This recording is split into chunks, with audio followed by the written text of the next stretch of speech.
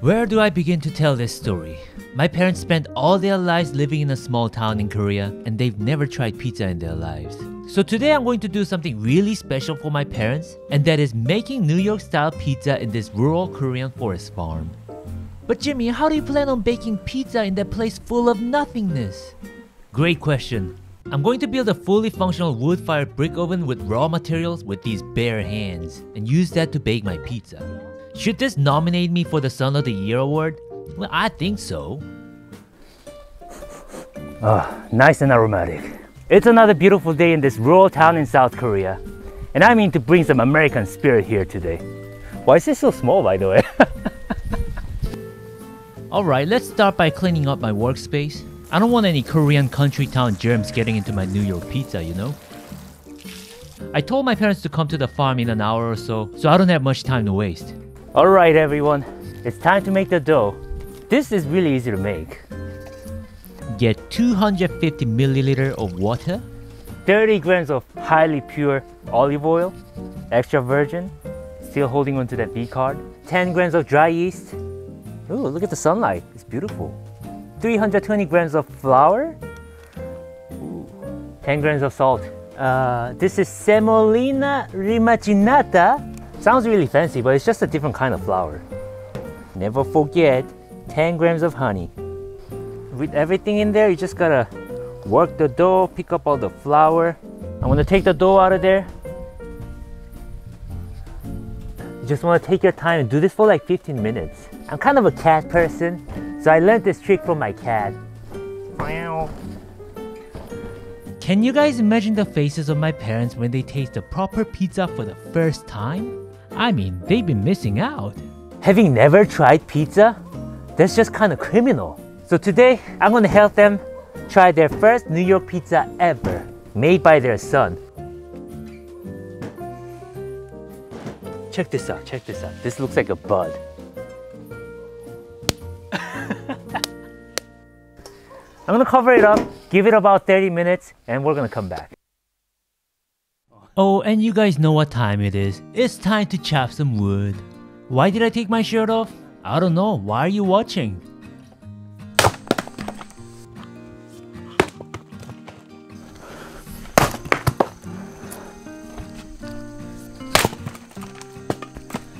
Gotta collect them all, gotta collect them all. Found another Pokemon. That's another Pokemon for me, alright? Is he dead? Oh, I'm sorry, guys.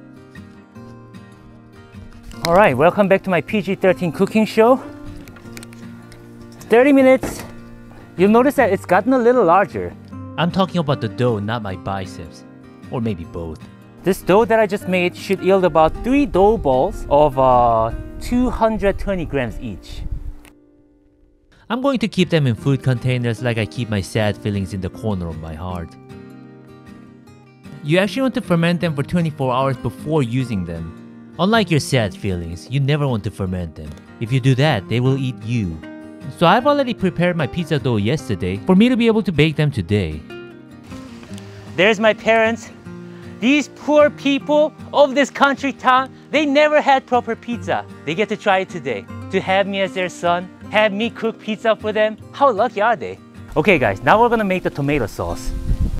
Ready for this? Ooh. Oh, smells like Italy. You know, I'm, I'm a simple Korean man, so if something's from Europe, I just assume that it's amazing. So making the tomato sauce is really easy. Pick up some peeled tomatoes, but don't get too much juice with it. Just the solid chunks. Throw some oregano in there, little bit of salt, and a pinch of sugar, and start crushing them with your monstrous grip strength. Or use a blender if you're smart. Do you guys want some crushing tomatoes ASMR?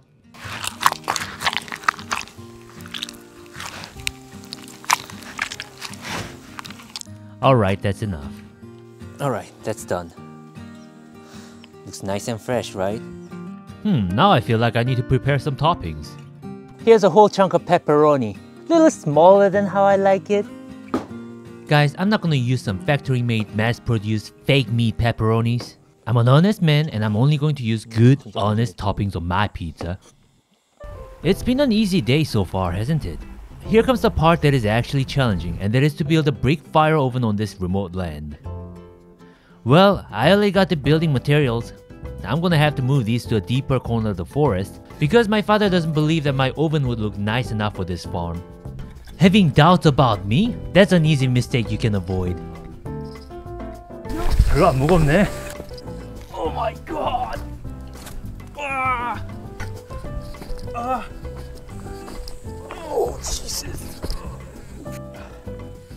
Who needs CrossFit when you can just work at a farm?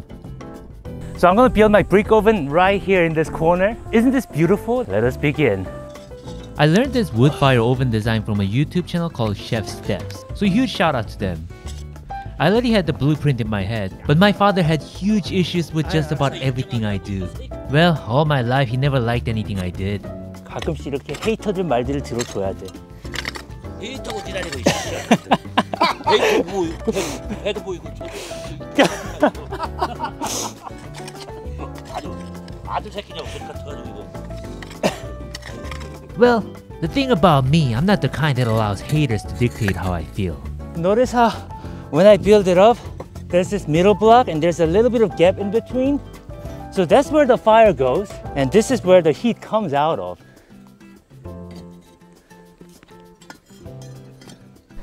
Oh my god, I am so proud of my creation. And there's my gorgeous oven, ready to make some pizza. now all I had to do was to see if the fire would heat up the top layer as it was designed to, and thank god it seemed to be working. It's hot. You guys know how things look easy on YouTube until you try it? This was one of those things. So I ended up with some holes that I had to patch up. But they're like the holes in my heart caused by emotional damage. I try and try to fix them, but they keep opening back up, you know? This is my first time ever making pizza. I didn't really care if the pizza looked a little ugly, but I really wanted it to taste good. After all, it was going to be my parents' first introduction to American pizza. Salami in there.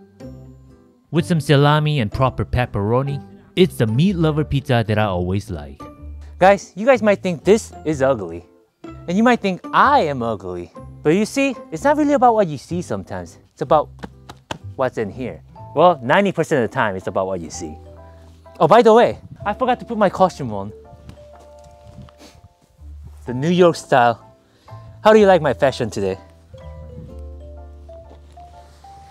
Let's find out if this whole thing wasn't a waste of time. My parents are right next to me waiting to see me fail. This has to work. I simply cannot afford to fail and give them the joy of saying, I told you so. And soon it was ready. Whoa!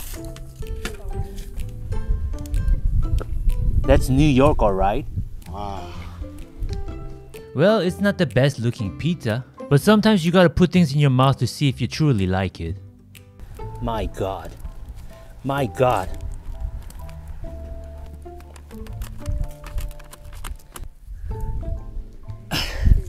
Not the best looking, but let me try first. Believe it or not, it was shockingly good. Hmm. Here. Hear how crunchy it is.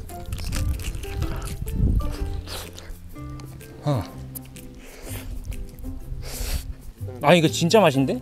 야 너 이거 한번 먹어볼래? 아니 나 부모님들 먼저 드시고 아 그래 그래 먼저 따라 no BS, it was probably a notch below very good pizza restaurants, and better than any pizza I've had in Korea.